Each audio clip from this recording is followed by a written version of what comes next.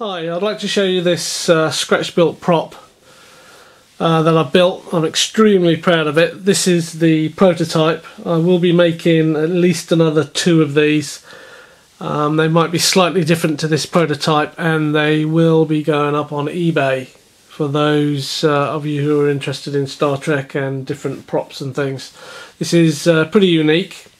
It is based on a prop that Paramount had made for one of the Voyager episodes. It's uh, supposed to be a futuristic tricorder.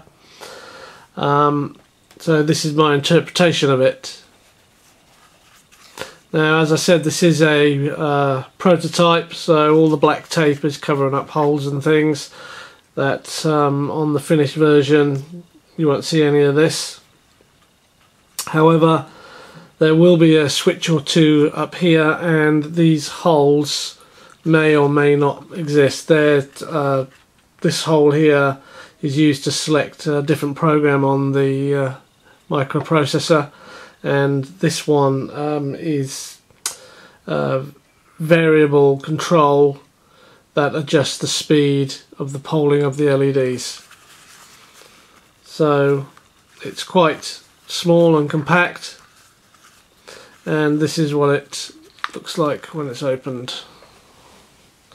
Now at the moment I've got it programmed to do the demo so all the different possible patterns are being displayed. What you can do is select a specific pattern and it will memorize that and stay on it. There's uh, 11 different patterns and the 12th program is the demo program. So for instance that one there was quite nice for a Star Trek scanner. You might want to just select one and leave it on and then feel like a change a bit later so you can uh, change it. That's the Cylon. now these uh, LEDs in here are very bright. I'll show you that by uh, pointing them at the camera.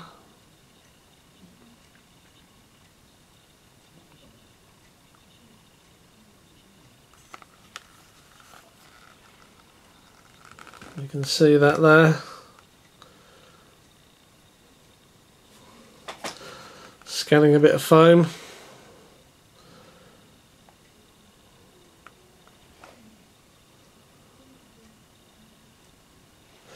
And um,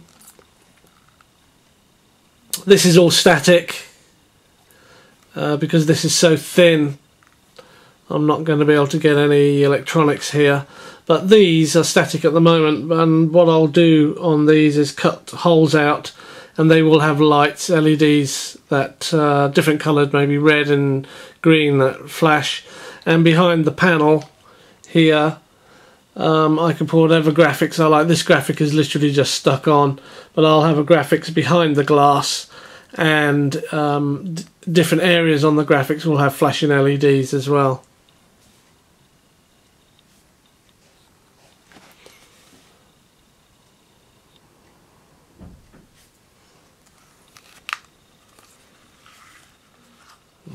and you can call me a geek or a nerd if you like but uh, I'm particularly proud of the results I've got here. I've taken a travelling alarm clock and turning it into a Star Trek tricorder.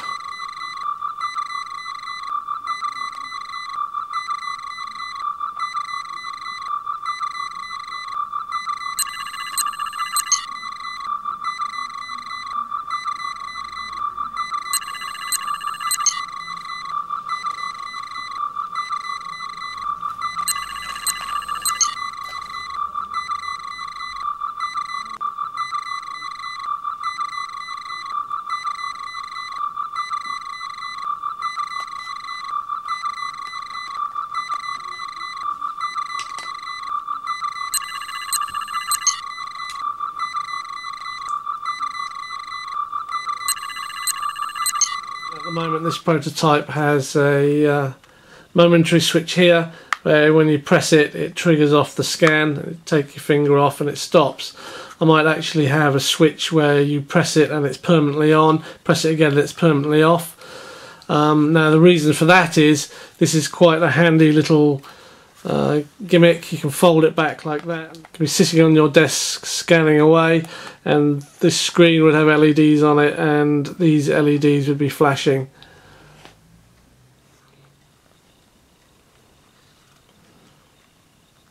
You can see how bright they are, they just blank out the screen when it's pointed at the camera.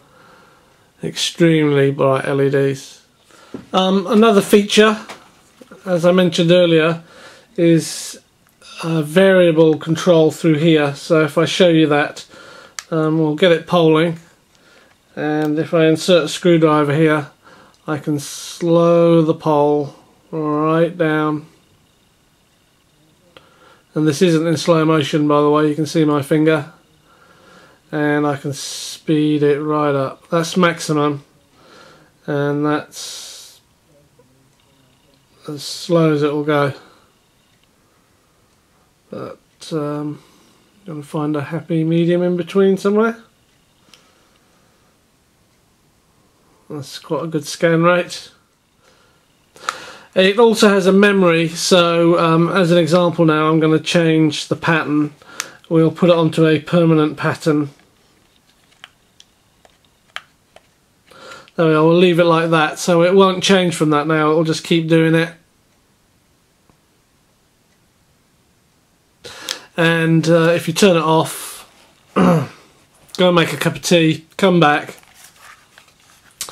and it will scan exactly the same and it won't change from that now um, unless you change it by actually um, putting the screwdriver in and pushing the button that's inside again. So there it is. This is the prototype. I keep saying that uh, just to make sure. This up here, um, I was going to blank out, so it's actually like this at the back, you can't see it. But uh, it actually turned out I quite like this scanning like this. Um, it's the lower part of the LED showing through.